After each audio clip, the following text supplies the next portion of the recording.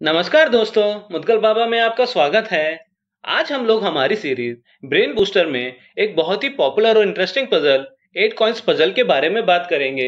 Puzzle कुछ इस तरह से है कि मान लीजिए कि हमारे पास एक खाली तराजू और आठ आइडेंटिकल कॉइन्स हैं और इन आठ कॉइन्स में से एक कॉइन फेक है और ये फेक कॉइन बाकी कॉइन्स के मुकाबले वेट में हल्का है। अब हमारा टास्क ये है कि हमें इस खाली तराजू की हेल्प से इन आठ कॉइन्स में से फेक कॉइन को आइडेंटिफाई करना है और वो भी कम से कम मेज़रमेंट स्टेप्स में। अब आप लोग इस वीडियो को पॉज करके इस पजल को सॉल्व करने की कोशिश कीजिए और हमें कमेंट सेक्शन में बताएँ कि इस फेक कॉइन को आइडेंटिफाई करने में मिनिमम कितने मेज़रमेंट स्टेप्स लगेंगे। तो अब हम लोग चलते हैं इस पजल के सॉल्यूशन की तरफ़। अब हम दिए हुए तराजू के दोनों साइड चार चार कॉइन्स रखेंगे। अब इससे होगा क्या? जिस साइड भी फेक कॉइन होगा फेक कॉइन के हल्के होने की वजह से तराजू का वो साइड ऊपर उठ जाएगा। यानी कि अगर फेक कॉइन लेफ़्ट साइड में हुआ तो तराजू का लेफ़्ट साइड ऊपर उठ जाएगा। अगर फेक कॉइन राइट साइड में हुआ तो तराजू का राइट साइड ऊपर उठ जाएगा। अब इस सिनारियो में हमारे पास दो पॉसिबल केसेस हैं। या तो फेक कॉइन लेफ़्ट साइड में होगा, या राइट साइड में। एग्ज़ाम्पल के लिए मान लेते हैं कि फेक कॉइन तराजू के लेफ़्ट साइड में है। तो इसका मतलब ये है कि तराजू के लेफ़्ट साइड में रखे हुए इन चार कॉइन्स में से कोई सा एक कॉइन फेक कॉइन है। अब हम लोग इन चार कॉइन्स में से दो कॉइन्स तराजू के लेफ़्ट साइड में और बाकी के दो कॉइन्स राइट साइड में रखेंगे। और फिर से जिस साइड फेक कॉइन होगा, तराजू का वो साइड ऊपर उठ जाएगा। तो इस बार भी हमारे पास दो पॉसिबल केस बनेंगे। फेक कॉइन या तो लेफ़्ट साइड में होगा, नहीं तो राइट साइड में। मान लेते हैं कि इस बार फेक कॉइन तराजू के राइट साइड में है। जिसका मतलब है कि अब इन दो कॉइन्स में से कोई सा एक कॉइन फेक कॉइन है।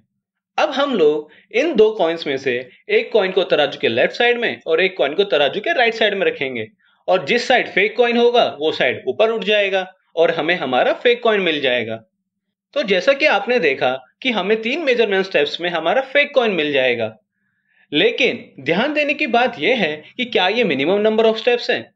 क्या इससे कम स्टेप्स में भी फेक कॉइन आइडेंटिफाई किया जा सकता है? द आंसर इज़ यस हम लोग दो मेज़रमेंट स्टेप्स में भी फेक कॉइन आइडेंटिफाई कर सकते हैं। चलिए देखते हैं कैसे। इस बार हम लोग चार चार कॉइन्स की जगह तराजू के दोनों साइड तीन तीन कॉइन्स रखेंगे। यानी कि छह कॉइन्स तराजू में और बाकी के दो कॉइन्स साइड में। अब इस सिनारियो में हमारे पास तीन पॉसिबल केसेस हैं। पहला, तराजू बैलेंस में है। यानी कि तराजू में रखे हुए कॉइन्स फेक कॉइन नहीं हैं। और बाकी के बचे हुए दो कॉइन्स में से कोई सा एक कॉइन फेक कॉइन है। तो इस केस में हम दोनों बचे हुए कॉइन्स को तराजू की दोनों साइड रखेंगे और जो साइड ऊपर उठ जाएगा, उस साइड हमारा फेक कॉइन है। अब दूसरा पॉसिबल केस बनता है कि तराजू का लेफ़्ट साइड ऊपर उठ गया है, जिसका मतलब है कि तराजू के लेफ़्ट साइड में रखे हुए इन तीन कॉइन्स में से कोई सा एक कॉइन फेक कॉइन है। तो इस केस में हम लोग तराजू के लेफ़्ट साइड वाले इन तीन कॉइन्स को कंसिडर करेंगे और बाकी के बचे हुए कॉइन्स को डिस्कार्ड कर देंगे। अब हम लोग इन तीन कॉइन्स में से किसी भी दो कॉइन्स को तराजू में मेजर करेंगे और एक कॉइन को साइड में रख देंगे। अब इस सिनारियो में हमारे पास तीन पॉसिबल सब केसेस बनते हैं। पहला, या तो तराजू बैलेंस है। इस केस में साइड में रखा हुआ कॉइन फेक कॉइन हो जाएगा।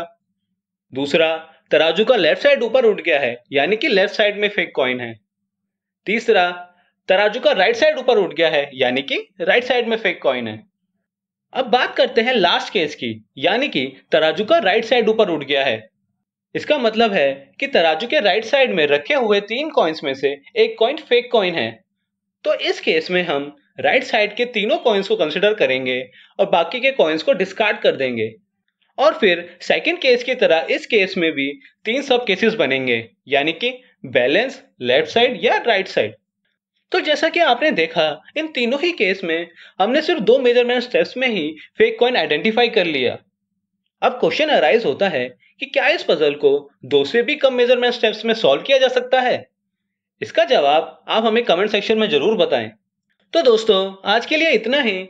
आपको ये पजल कैसा लगा, आप हमें कमेंट सेक्शन में ज़रूर बताएँ। अगर आपको ये वीडियो अच्छा लगा तो इसे लाइक और शेयर ज़रूर करें।